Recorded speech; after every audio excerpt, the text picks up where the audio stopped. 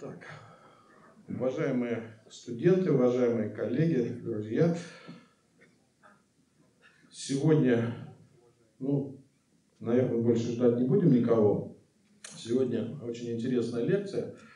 А, в качестве небольшого предисловия скажу, что во второй половине XIX века, а, в 1865 году, был создан Всемирный союз, а, Всемирный телеграфный союз. Почему это произошло? В связи с изобретением и развитием электрической связи люди очень быстро поняли, что эта связь имеет такое свойство, как трансграничность. Она распространяется во всемирном масштабе, и поэтому нужно находить способы ее регулирования, договариваться между собой, договариваться о стандартах технических, сигнальных и других. И поэтому вот такой союз электросвязи при очень активном участии России был создан. А, потом он трансформировался э, в союз, э, в, теле, в, телегра, в, теле, в союз, союз телеграфии и телефонии. И э, с середины прошлого века мы его знаем как Международный союз электросвязи, который с 1947 года стал одним из международных главнейших учреждений ООН. То есть мы можем констатировать, что МСЭ Международный союз электросвязи – это старейшая международная организация. А, в недрах этой международной организации однажды а, возникла идея о том, чтобы достижения в области телекоммуникаций, информационных технологий были доступны во всемирном масштабе всем странам одинаково, вне зависимости от развития промышленности, технологии, Э, степени богатства или бедности. И э, было принято э, решение в масштабе ООН созвать форум, о, котором, о работе которого расскажет наш замечательный Владимир Маркович Минкин. Вот, я потом передам слово коллеге. Перечисление Э, титулов, званий Владимира Марковича, наверное, займет большое количество времени. Могу от себя сказать, что я долгое время э, работал э, вместе с ним в Международном союзе электросвязи. Это, кроме того, что замечательный человек, еще один из, наверное, немногих людей, которые есть в нашей стране, Э, профессионалов э, такого уровня, которые, э, которые являются и великолепными международниками, дипломатами, блестящими инженерами, специалистами в области регулирования электросвязи. Поэтому я сейчас, чтобы не занимать много времени, передаю слово коллеге Владимир а вы тогда уже потом. Спасибо.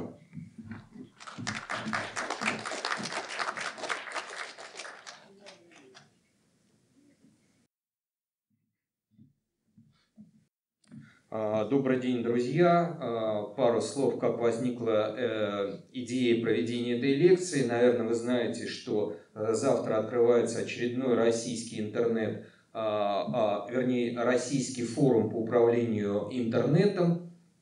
И в рамках этого форума будут обсуждаться несколько важных тем, в том числе и тема э, предстоящего, э, предстоящей встречи по подведению итогов ВВИВО, Всемирной встречи на высшем уровне по вопросам информационного общества. Это один из самых горячих вопросов повестки дня всех интернет-форумов, платформ, организаций, таких как ICANN, RIPE NCC и подобных, потому что на этих встречах задаются те параметры развития интернета, та базовая, та базовая платформа, которая влияет на то, как он будет управляться, кем он будет управляться, какие цели и задачи ставятся. И в рамках а, э, российского форума по управлению интернетом, в рамках нулевого дня проходит вот эта э, лекция, посвященная э, ВВИО, потому что как я уже сказал, а, будет одной из главных тем и российского форума, и ближайшего вообще года а, в ожидании встречи а, э, по подведению итогов ВВИО. Итак, сегодняшний э, наш лектор Владимир Маркович э, Минкин – это главный научный сотрудник научно-исследовательского института радио и эксперт, который занимается международной деятельностью уже не одно десятилетие. Я не в состоянии на память все его регалии и титулы э, запомнить, поэтому просто процитирую. Во-первых, он э, специалист, принявший самое непосредственное участие как в организации процесса, стоявший у истоков э, процесса ОВИО, так и, э, а процесс начался в далеком 1998 году, так и непосредственный участник всех основных событий – Э, эксперт, э, человек, который участвовал во всех встречах, прежде всего участник российских делегаций на всемирной встрече высшего уровня по вопросам информационного общества в Женеве в 2003 году. Одна из основополагающих встреч, которые определили то, как вообще выглядит интернет, всемирный интернет на сегодняшний день. И в Тунисе не менее важнейшая встреча, вы сегодня о ней услышите, 2005 года. Председатель рабочей группы Совета, международного, Совета Международного союза электросвязи а, по ВВИО и целям устойчивого развития а, в период с 2006 по 2022 год, председатель многосторонней подготовительной платформы к ВВИО плюс 10 2013-2014 года и участник подготовки и проведения общего обзора выполнения решений ВВИО Генеральной Ассамблеи ООН в 2015 году, а также участник группы экспертов КНТР, а, комиссии по научно-техническому развитию ООН а, по упрочению сотрудничества. Итак, Владимир Маркович, прошу вас.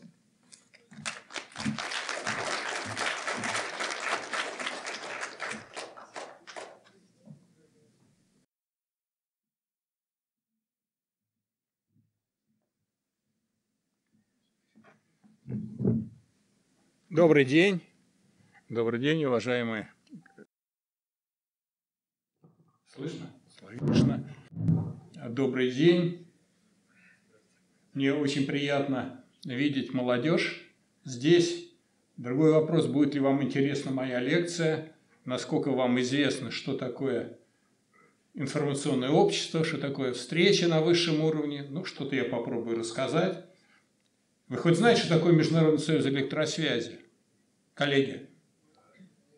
Знаете, да? Это хорошо. Тогда, тогда давайте начнем нашу лекцию. А, называется она «Форум всемирной встречи на высшем уровне по вопросам информационного общества». По-английски это WISIS, World Summit of Information Society, а по-русски аббревиатура ВВУИО мне уже трудно ее выговаривать, я поэтому иногда буду называть саммит или висис. Но этой аббревиатуре к ней приложил руку Мтуси в лице своей студентки, которая участвовала в Женевской встрече, будучи на стажировке в МИИ. И вот она изобрела эту аббревиатуру, которая везде вошло, ВВУИО. Так что Мтуси вписал так, что у нас? Так, коллеги, работают, не работают? Пока не щелкает. Куда?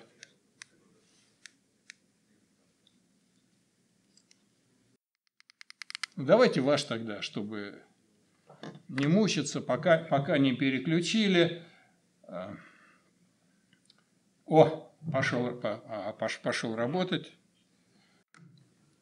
Раз мы говорим об информационном обществе, немножко по терминологии. Вообще, этот термин начал употребляться, спасибо большое, начал употребляться где-то полвека тому назад, и потихонечку сложилось неофициальное понятие, я нигде не видел официального определения, что это постиндустриальное общество, в котором создание, сбор, хранение, обработка, распространение, обмен, применение э, является важной экономической составляющей и политической, и экономической, и социальной, и культурной э, деятельности общества. Ну и основными движущими силами информационного общества являются информационные и коммуникационные технологии. Тоже термин не имеет определения. Должен сказать, что мы э, в МСЭ пытались сделать, улыбается Андрей Юрьевич, пытались дать это определение. Я был одним из сопредседателей э, группы МСЭ, которая занималась этим вопросом. Это шло через сектор развития. Я тогда был председателем консультативной группы этого сектора. Мы почти договорились. Но перед тем, как вынести это предложение на утверждение полномочной конференции, некоторые страны не поддержали это предложение. И поскольку здесь должен быть консенсус, а все решения в МСЭ принимаются в основном консенсусом, так это определение и не пришло. И мы не смогли его включить даже в уставные документы, хотя считается, что МСЭ – это лидирующая организация системы ООН как раз в области ЭКТ.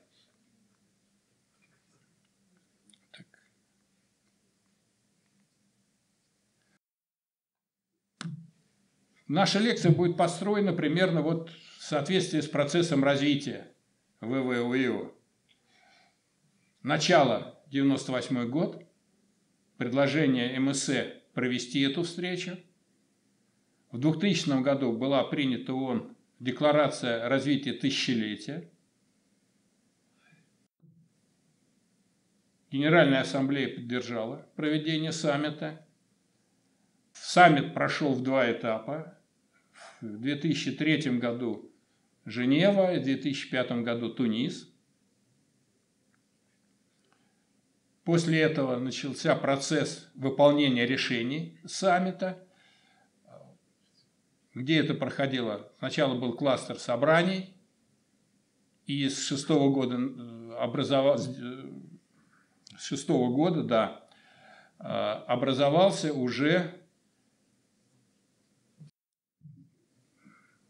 вот этот кластер собраний, если на первом собрании, и там в основном были только э, координаторы направления деятельности, в шестом, седьмом и восьмом годах. А в девятом году образовался форум, мы поговорим об этом дальше. А в четырнадцатом году подведение итогов за 10 лет на уровне э, форума, было мероприятие высокого уровня. В 2015 году Генассамблея ООН которая э, приняла резолюцию по дальнейшей деятельности. И после этого пошло следующее десятилетие, итоги которого мы будем подводить э, в будущем году, и, и сейчас идет подготовка э, к нему.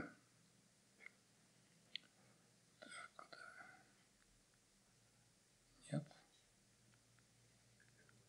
Ага. Так как инициатор данного мероприятия – это Международный союз электросвязи. Андрей Юрьевич уже упомянул о нем. Это старейшая организация системы ООН. В 1865 году была образов... был образован Международный союз телеграфии, а с изобретением радио в 1906 году был Международный союз радиотелеграфии, телефонии добавилась к Первому союзу, и в 1934 году слились эти два две организации, и образовался Международный союз электросвязи. В этом, этот год – это 90-летие образования Международного союза электросвязи. В настоящее время участвует 193 страны, это крупнейшая организация системы ООН. Вот нолик здесь пропал. Более тысячи компаний и университетов международных региональных организаций сейчас – участвуют, то есть не только государство, но и представители частного сектора, бизнеса, гражданского общества, академических кругов, штаб-квартира в Женеве. И Я, наверное, лет шесть в совокупности провел в Женеве на собраниях. И кроме того, есть шесть региональных офисов, и один из этих региональных офисов находится в Москве. Региональный офис МСЭ. МСЭ сейчас состоит из трех секторов. Это сектор радиосвязи. Я бы сказал, это основополагающий сектор, потому что если не будет международного распределения частот и спутниковых орбит, это то, без чего не будет ничего работать в радиосвязи. А, сектор стандартизации электросвязи. Там разрабатывают стандарты, обеспечивающие функциональную совместимость всех систем и средств связи. И э, самый молодой сектор – это сектор развития, э, который посвящен прежде всего э, оказанию помощи развивающимся странам в развитии их инфраструктуры, в обучении, в создании проектов, поскольку этот сектор, он единственный, обладает как бы двойной функцией. Функцией исполнения проектов, что записано в Конституции, наряду с другой организацией системы ООН, это так называемый ПРООН.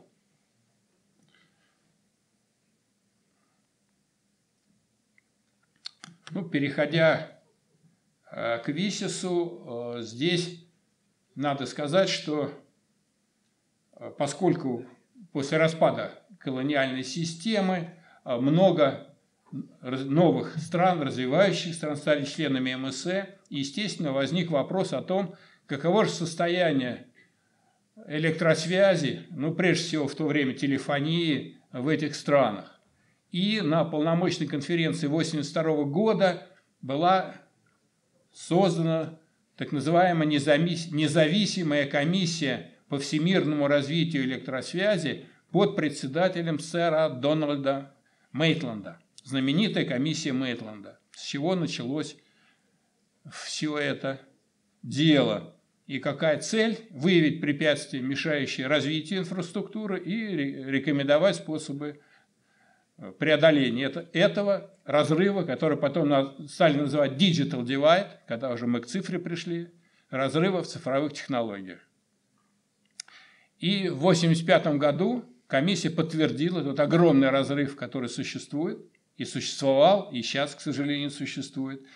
И все сказали, что это недопустимо что надо с этим бороться. Поэтому МСЭ отреагировал прежде всего, создав в 1992 году сектор развития электросвязи.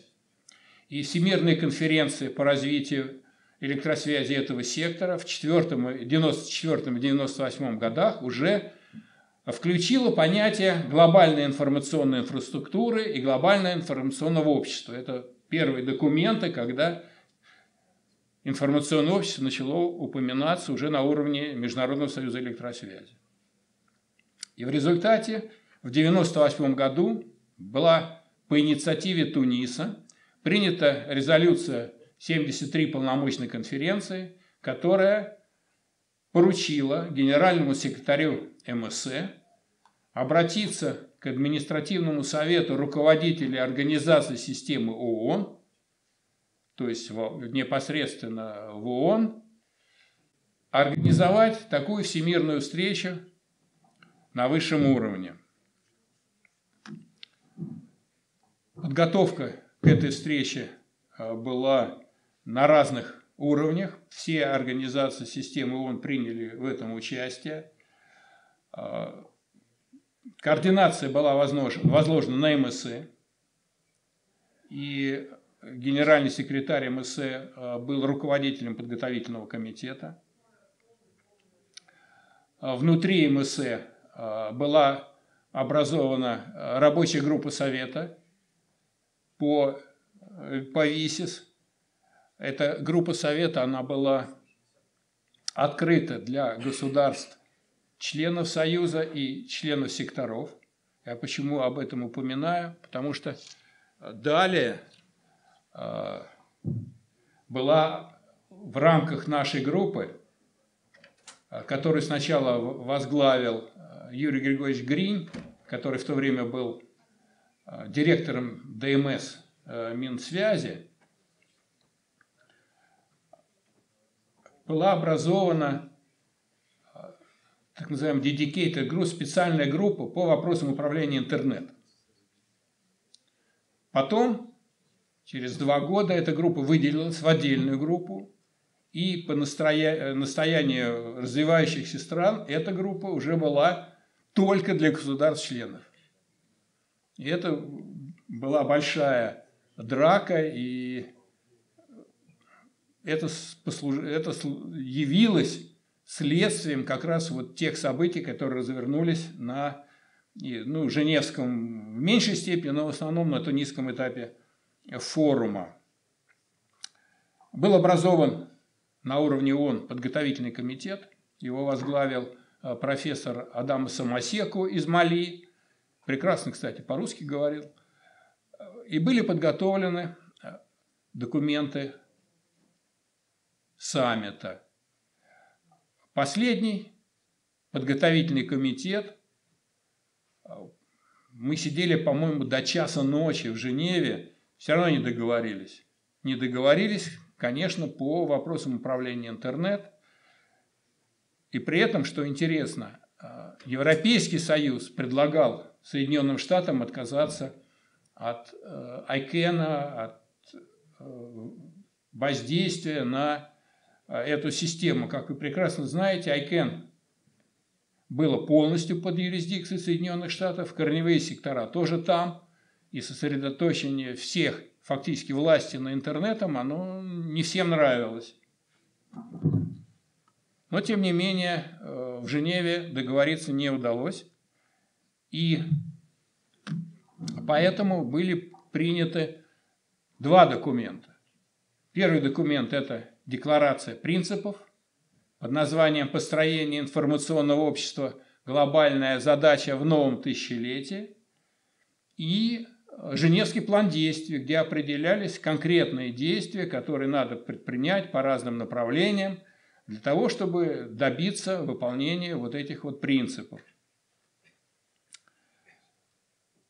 Реализация целей шла, естественно, через ИКТ, Основная задача – преодоление цифрового разрыва и были согласованы э, контрольные показатели. Я не буду их все зачитывать, их можно разбить на два этапа. Это подключение на базе ИКТ деревень, школ, университетов, библиотек. И дальше образовательные и культурные инициативы. Это обновление учебных программ, глобальный доступ к телевидению радиовещанию, многоязычный контент. И все это должно было быть уже к 2015 году выполнено. Но, к сожалению, частично это выполнено не было и сейчас. А какая основная причина? Если вы знаете, то даже в настоящее время 2,6 миллиарда населения земного шара не имеет доступа к интернету. А если нет доступа, то как выполнять все, и предоставлять те услуги, которые относятся к ИКТ? И вот эта задача решается, ну, когда будет решена, возможно, вы ее и будете решать.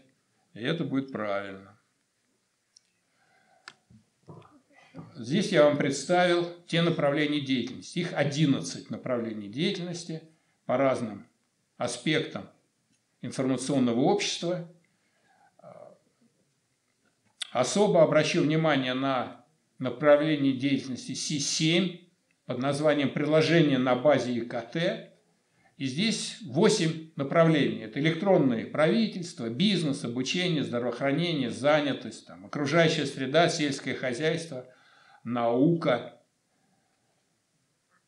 В Женеве еще вот правой колонки не было правая колонка после Туниса появилась. То есть те организации, которые э, возглавили и проводили координацию выполнения вот этих направлений деятельности.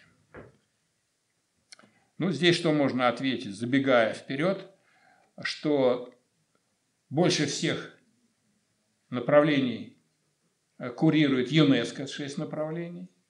Ну, прежде всего, вот это последнее направление – культурная, массовая информация, этические аспекты. Вот. МСС сначала только два направления курировал. Это информационная и коммуникационная инфраструктура и С5 – укрепление доверия и безопасности при использовании ИКТ.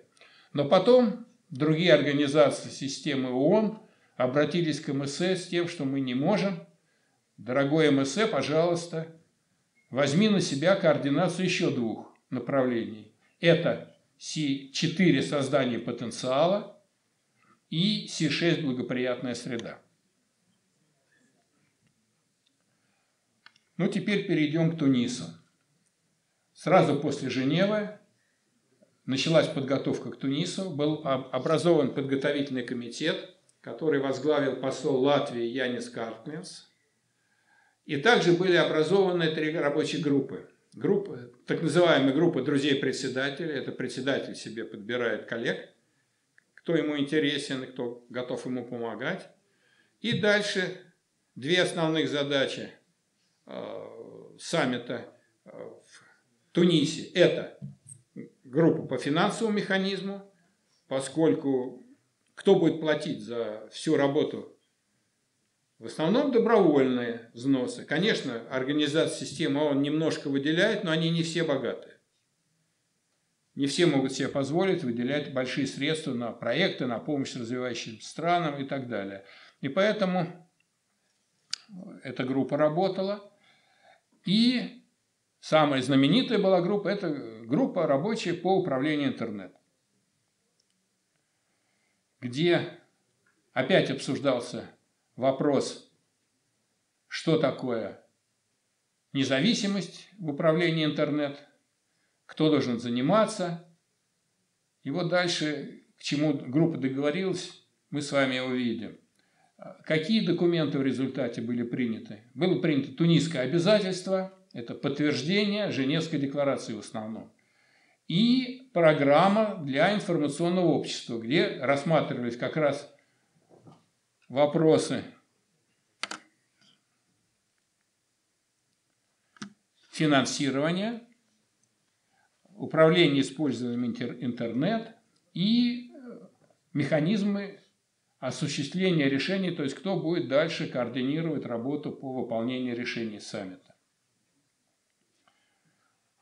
То, до чего не договорились даже там, это вопрос регулирования интернет, это роль государства и ICANN, тоже знаете такую организацию, я думаю. Завтра как раз форум начнется наш российский. И такое понятие есть упрочение сотрудничества, оно было введено как раз на тунисской а, встрече, упрочение сотрудничества между государственным и частным сектором по вопросам управления интернет. Вот поэтому упрочение сотрудничества потом Комиссия по науке и технике в целях развития а, провела две рабочие группы, организовала, и было проведение этих рабочих групп. И опять же, ни до чего договориться не удалось. Вот последняя группа, несколько лет назад она закончила свою работу, мы уже почти договорились до рекомендаций, которые готовы были передать на Генассамблею ООН а, по данной теме. Ну вот, представьте себе, час ночи где-то, это, если кто был в Женеве, там есть здание ООН, российская делегация, а Россия выступала в основном как проводник интересов развивающихся стран, и вокруг нас там кооперировались и всячески помогали и поддерживали развивающиеся страны. Ну и с другой стороны, как обычно, если вы знаете такое определение север-юг. Так вот, представители севера, западные страны во главе США или США э, предоставляют право говорить другим странам, обычно это Великобритания выступала. Мы говорим, хорошо, давайте мы поддержим эти 12, там было рекомендаций, при одном условии, давайте мы вначале напишем, что мы поддерживаем решения, принятые в Тунисе по э, тем правам и обязанностям, которые должны обладать государство и частный сектор в части интернета.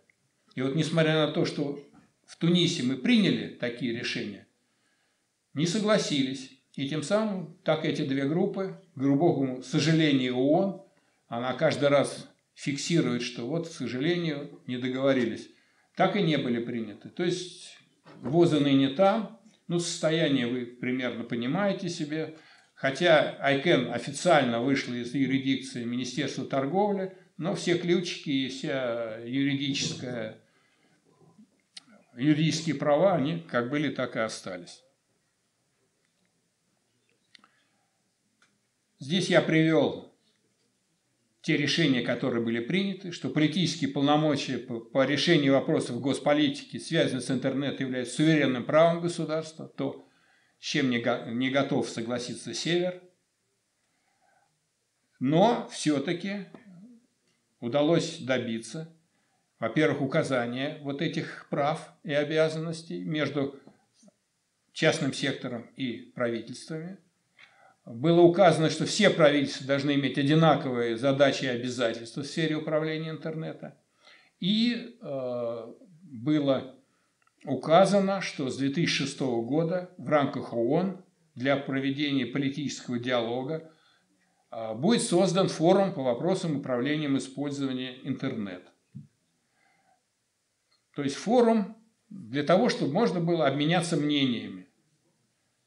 Ну и может, коллеги, которые с этим форумом лучше, чем я, знакомы, скажут, что изменилось за эти, сколько там прошло, 14 лет, или даже больше, какой там, я плохо считаю, 18. А, так эта площадка для разговоров и осталась. Но, тем не менее, это площадка, где можно было обменяться мнениями, услышать, у кого хорошо получается, у кого проблемы и так далее. Так что это очень полезная, полезный форум, и поэтому Россия принимает в нем активное участие. По итогам саммита, вот книжечка вот такая вот, была выпущена на всех шести языках,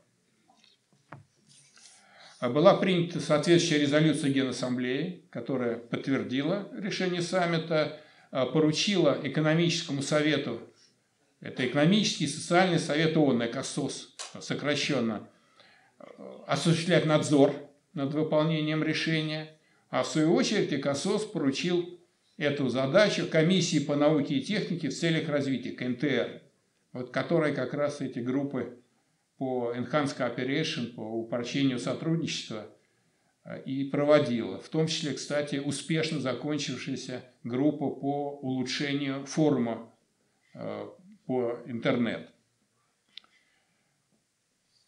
Закончился саммит, началась работа, и, как я уже говорил, с 6 по 8 год были проведены группы мероприятий по реализации направлений деятельности, которых возглавляли координаторы по каждому из направлений, которые мы с вами видели в таблице. Но с 2009 года, опять же по предложению МСЭ, через рабочую группу совета а, по инициативе, тогда был заместитель, он был заместителем генерального секретаря а, господин Хаулин Джао, потом он стал генеральным секретарем. Так вот он подошел как раз с просьбой, чтобы мы через группу провели это предложение, поскольку совет был после форума, и мы вышли с этим предложением – а, все организации системы ООН поддержали. И был в мае 2009 года. А почему в мае? Потому что это было привязано к 17 мая. 17 мая – день рождения МСЭ.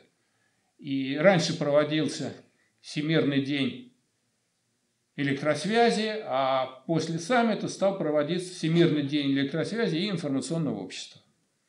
Первый форум прошел в мае 2009 года. Повестка была достаточно короткая, дискуссионные сессии высокого уровня, э, встречи координационные по направлению деятельности, это те, что и раньше проводились вот э, с 6 по 8 год, тематические семинары, Всемирный день, и новый оперативный обмен мнениями, стартовые встречи. Что это такое? Я расскажу позже. И впервые была организована онлайн-трансляция. И до сих пор она проводится. То есть э, вы можете участвовать в форумах ВВУИО, не сходя со своего рабочего места или из дома. Дискуссионные группы высокого уровня – это там, где участвуют министры, их заместители, руководители разных компаний и так далее. То есть высокий уровень. А, также э, впервые прошло заседание группы ООН по информационному обществу, э, которое было образовано государствами, э, которое было образовано организациями системы ООН, которые участвуют в процессе ВВУИО. Четыре постоянных организаций занимали посты вице-президентства. Это МСА, ЮНЕСКО, ПРООН и ЮНКТАД. И они по очереди э, возглавляли эту организацию. И каждый раз на форуме проходит закрытое собрание, то есть только эти представители принимают в нем участие. И вот нововведение форума. Что такое оперативный обмен мнений? Это значит, просто предоставлялось место, время, чтобы участники могли встретиться и обменяться и это находило свой отклик и было востребовано.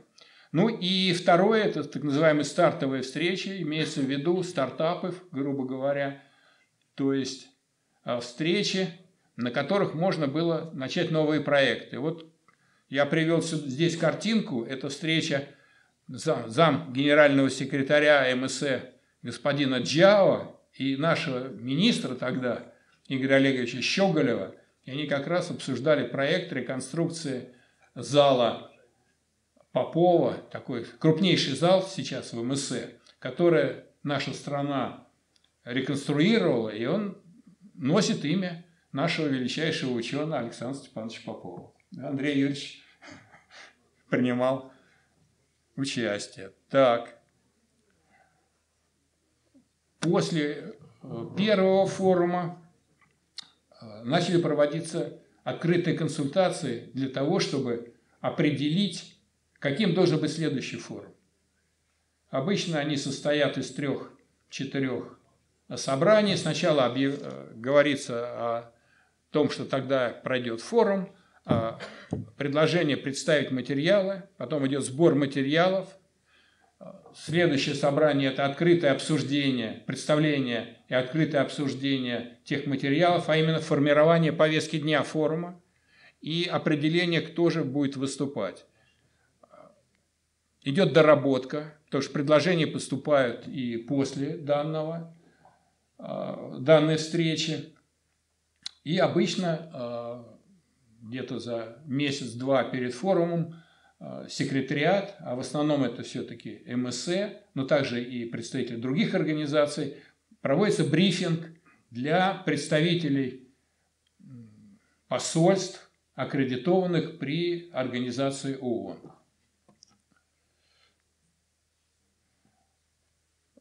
Следующий форум, он тоже был юбилейный, это 5 лет. Новые элементы это пленарное заседание высокого уровня, не просто дискуссионное, а пленарное заседание, где фактически только министры и крупные руководители. Из новых, из нового это интерактивные сессии. Интерактивно имеется в виду, что выступают не один лектор, а выступают все участники – впервые э, приняло участие в партнерстве по измерению использования ИКТ. Также региональные комиссии проводили свои собрания. И впервые пока только информация секретариата о проведении форума управления интернетом.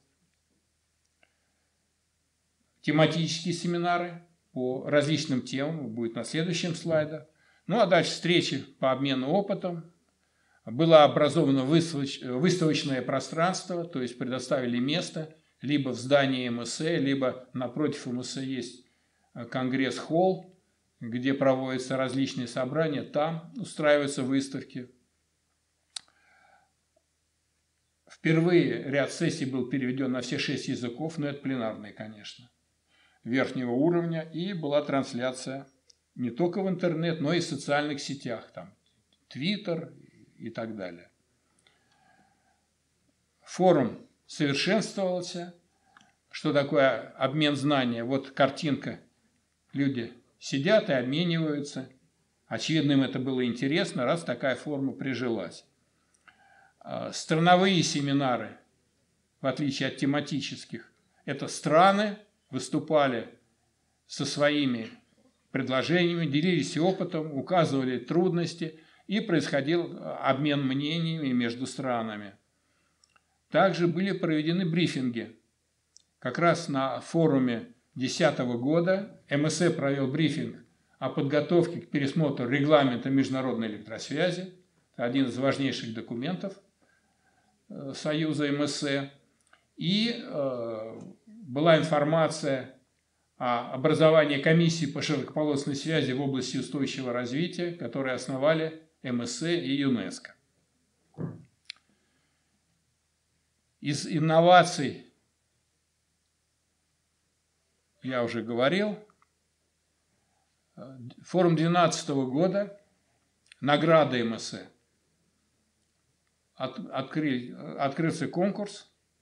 Все заинтересованные стороны могут принимать в нем участие. 18 категорий. Мы с вами говорили 10 э, направлений, и седьмая состоит из 8 направлений, то есть всего 18.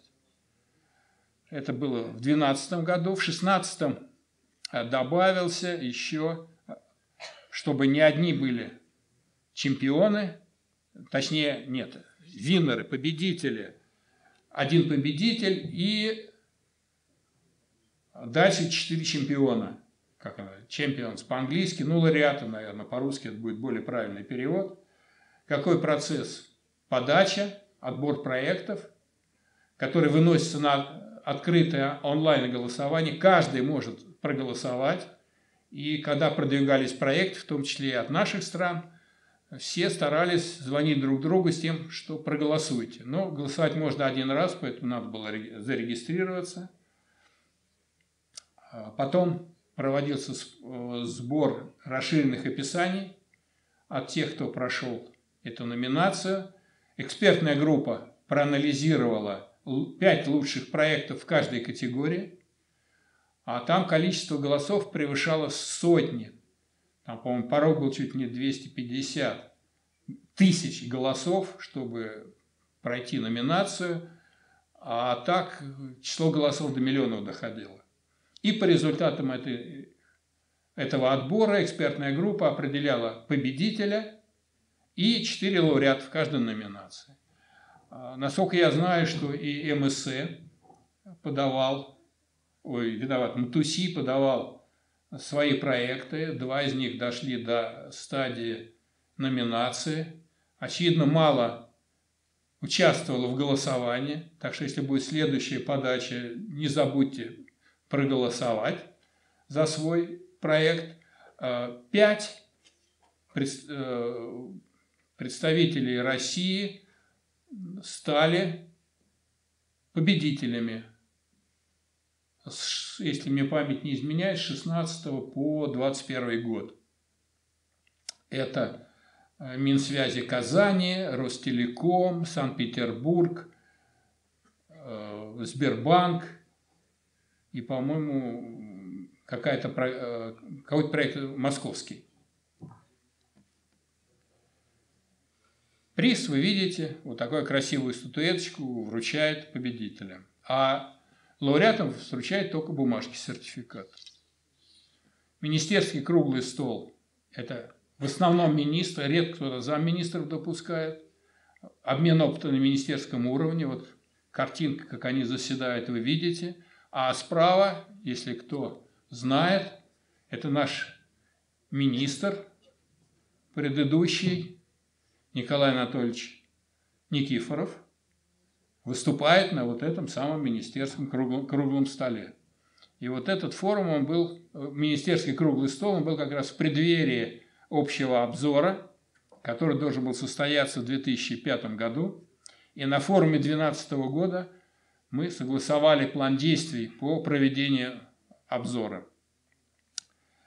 И здесь было два мероприятия. В 2013 году ЮНЕСКО проводила э, мероприятие с обзором тех направлений, прежде всего, за которые они отвечали, а затем было согласовано, что э, в 2014 году пройдет мероприятие высокого уровня ВВУЭ плюс 10, которую координировал МСЭ, с тем, чтобы провести такой обзор. Почему так э, было вызвано? Дело в том, что ООН – это хорошая организация, но немножко она, ну, у нее есть свои принципы. И, например, обзор должен был провести в соответствии с решением в 2015 году. 2013 год, 2014 год, никакой реакции от Генеральной Ассамблеи, как она будет проводить, где она будет проводить, в каком формате она будет проводить. Решение было принято только в самом конце 2014 года, и начало подготовки было только с июня 2015 года. Вот представляете, вот с 2015 года до декабря, когда была сессия ООН, пять собраний подряд, там приходилось в Нью-Йорк мотаться чуть ли не каждый месяц, согласовывалось эти документы. А здесь было принято решение, чтобы подготовка к этому обзору десятилетнему проводилась более солидно, основательно, и поэтому, ну, это формат всемирного кафе, я о нем позже расскажу. Было принято решение, инициатором был Совет МСЭ 2013 года и наша группа, под, э, по работе с, по информационному обществу, провели собрание, проговорили, что же мы будем делать, какие документы будем готовить, когда будут проводиться консультации. А самое главное было определить, а какой же у нас круг ведения. Был большой спор, что это МСЭ, берет на себя такие функции, когда есть куча других организаций и так далее. И самое главное, вопрос ставился таким образом. Вот есть КНТР, комиссия по науке технике ОНовская. Вот пусть ей поручено заниматься подведением, ну пусть она и занимается. И чтобы провести вот эту вот встречу, она называлась многосторонний подготовительный процесс. ВВО, ой, выговорю, плюс 10, самое главное, эти семь принципов говорили о том, что мы занимаемся только Женевским этапом, то есть только направлением деятельности. Мы не касаемся интернет, что было основной причиной этих возражений. И интернетом, и IGF, и прочее пусть занимается КНТР. А мы будем заниматься только направлением деятельности. Вот на этих условиях и состоялась состоялась эта работа. Мы рассмотрели очень много документов, а когда стал вопрос о руководстве собрания, кто будет руководить этим МПП, ВВО плюс 10, генеральный секретарь МСЭ, доктор Туре, сказал, ты председатель, ты будешь руководить. И все согласились, и мне пришлось возглавить вот это собрание. Ну, если немножко рассказать и поделиться, может быть, вы тоже будете когда-нибудь принимать участие в международных собраниях. Вам доведется руководить этими собраниями. Должен сказать, очень непростая задача. Ну, не говоря о том, что, естественно, собрание ты ведешь на английском языке, то есть английский всем вам надо знать, если вы хотите хоть какое-то участие в международной деятельности принимать. А самый главный вопрос, что необходимо договариваться с различными группами. Одни хотят одного, другие говорят, хотят третьего. Север и юг одно, гражданское общество другое, бизнес третье, и у всех свои интересы. С каждой группой надо было находить контакты и разговаривать. Самое интересное это было гражданское общество. Встает такой представитель и говорит, я представляю гражданское общество такого-то региона. Встает другой говорит, да я тоже из того региона, а почему вы говорите? То есть, кто это гражданское общество уполномочил и так далее, кто имеет право говорить от целого региона. Эти те вопросы, которые приходилось решать. И опыт, конечно, был значительный, получен здесь. Тем не менее, а мы договорились все-таки, хотя не окончательно, на мероприятие высокого уровня 2010 года, а оно прошло как расширенный форум. Думали, как это сделать, и договорились, что будет не отдельное мероприятие, а расширенный форум а, ВИСИС 2010 года. И два документа подали. Заявление выполнения решений и концепцию на период до, после 2015 года.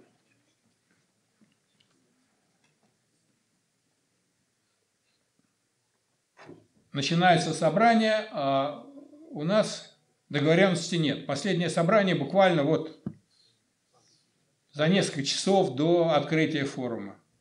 Одна страна говорит, я вот против такого-то положения. А принцип такой, одно положение не согласовано, считай, весь документ не согласован. Это вот во всех таких организациях так происходит.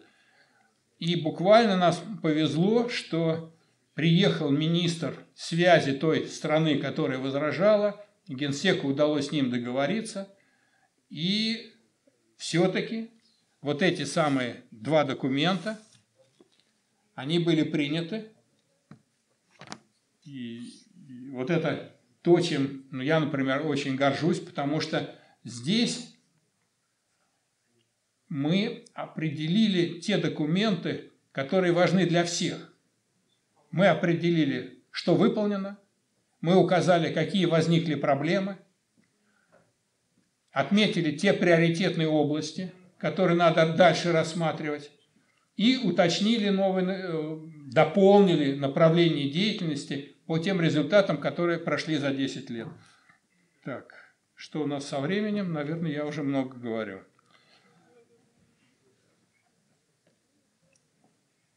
Общий обзор был на Генассамблее ООН в 2015 году. Основные выводы были какие? Форум признан, ВВО признан эффективным инструментом. Решено его проводить до 2025 э, года.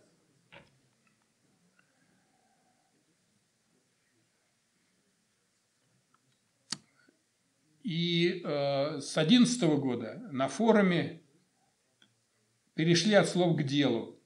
Начали принимать рекомендации по каждому из направлений деятельности с учетом новых тенденций. А в 16, с 2016 года добавились рекомендации по взаимосвязи а, процесса ВВУИО и целей устойчивого развития.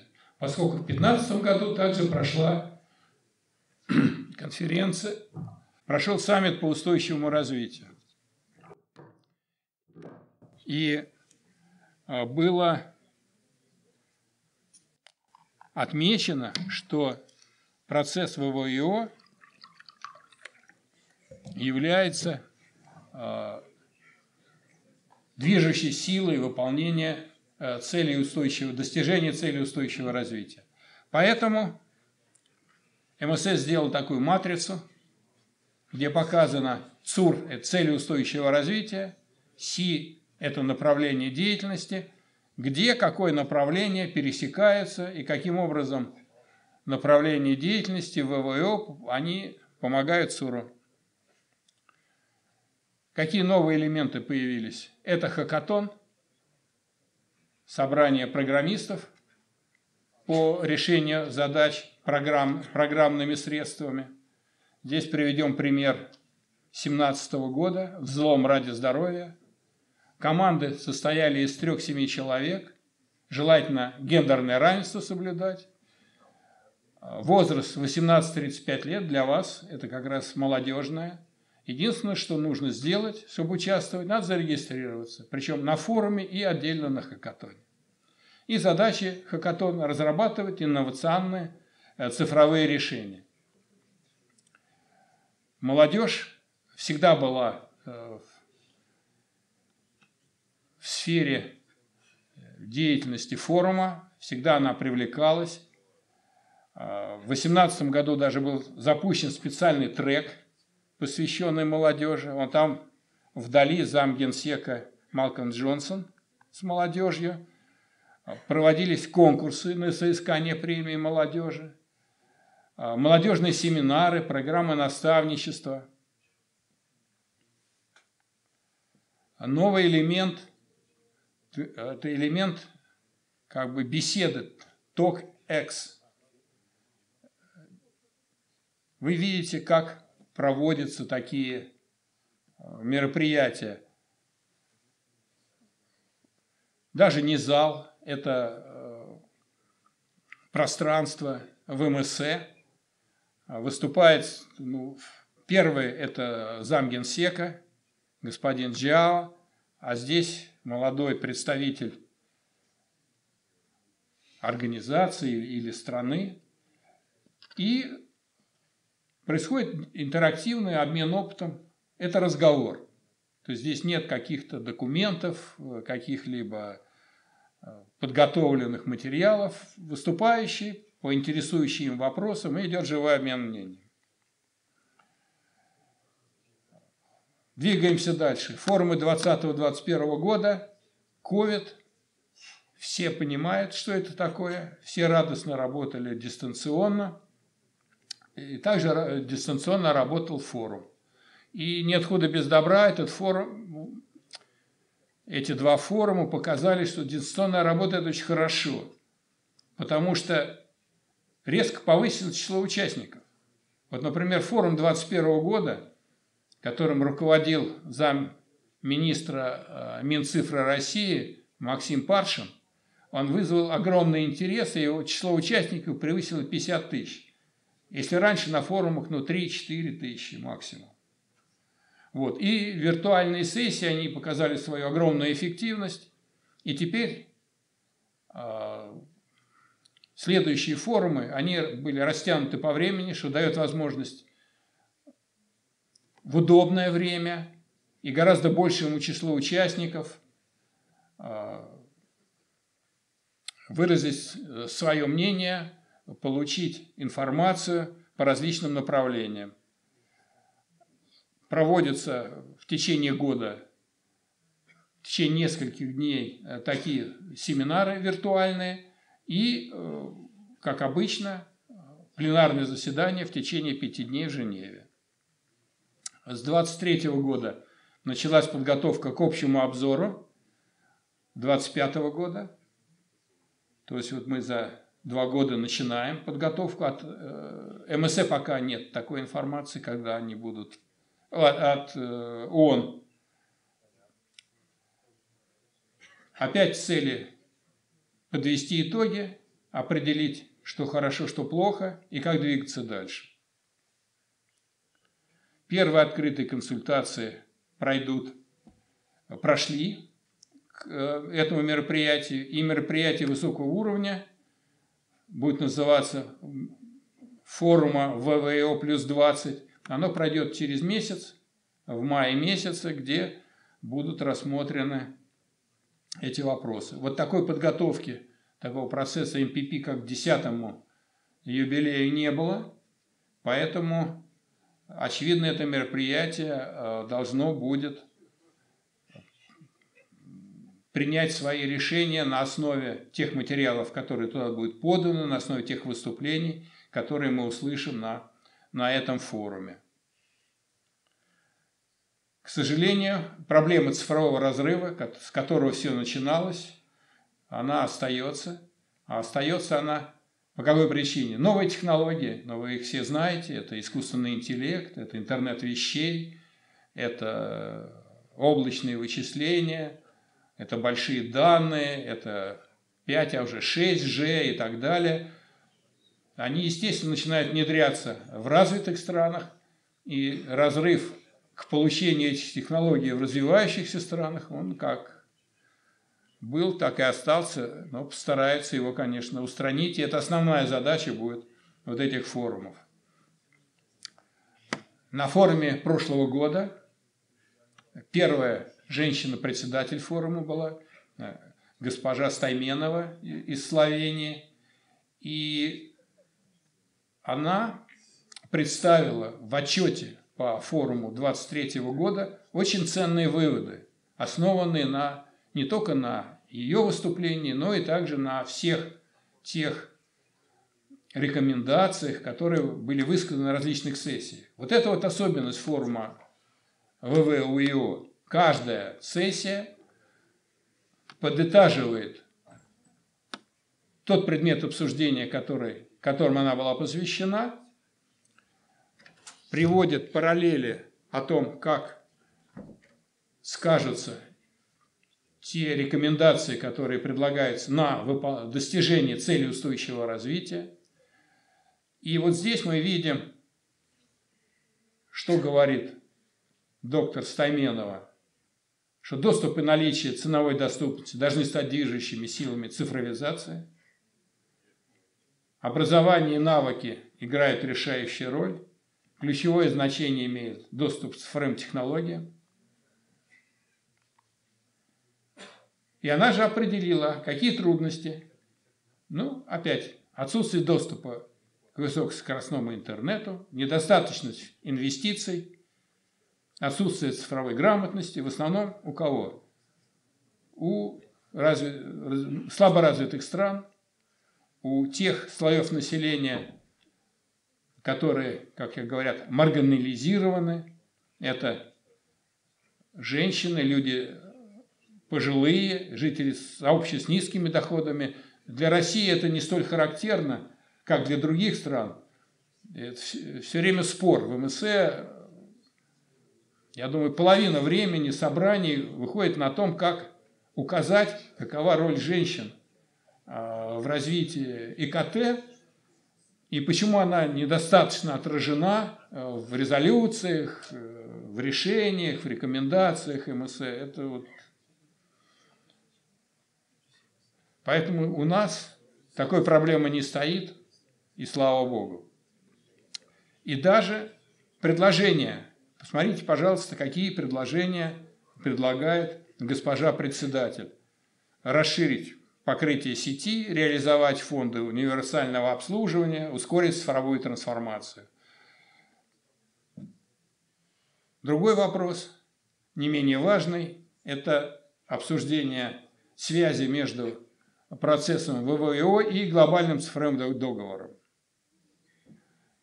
Если вы знаете, что такое глобальный цифровой договор, в этом году пройдет саммит будущего, на котором он будет рассматриваться. И вот в том нулевом проекте, который сейчас был распространен, например, никакого упоминания о ВВО и форме ВВО практически нету. То есть э, желание тех, которые готовили этот документ, чтобы заменили процесс ВВО новым процессом, вытекающим из этого глобального цифрового а, договора. Мероприятие высокого уровня, о котором мы с вами говорили, оно будет посвящено как раз анализу ключевых тенденций, рассмотрению достигнутых результатов и оценке направления дальнейшей деятельности. Пройдет они повестка дня предварительно это будет мероприятие высокого уровня, диалоги высокого уровня, региональные комиссии, партнерство для измерения, тематические семинары, э, стратегические партнеры будут выступать, медиатрек, обмен опытом и общественные мероприятия. Ну, не буду на них заострять внимание, ну, перехожу к заключению. Процесс ВВО. Третий год Женева, пятый год Тунис, пятнадцатый год обзор десятилетнего юбилея и 25 год, 20 лет. Будем смотреть, чего достигли, что получили и как двигаться дальше. И вот если кратко посмотреть исторически на процесс уже подготовки а, ВВО плюс 20, он начинается с а, саммита ЦУР цели устойчивого развития, который прошел на Генассамблее в прошлом году – Затем это IGF в Японии. прошли собрания региональных комиссий. В нашем регионе в прошлом году Армения, в этом году должен быть Казахстан. Форум ВВО плюс 20. Ждем назначения координаторов по подготовке к ассамблее в Женеве. Надеюсь, в декабре этого года все-таки их назначат. Ну и дальше будет 24 год – это вклад в пакт будущего. Будем знать, что решит по поводу глобального цифрового договора. И затем подготовка к э, совещанию 25 года. Коллеги, большое спасибо. Не знаю, насколько была интересна вам эта лекция. Если есть вопросы, готов ответить. Благодарю за внимание.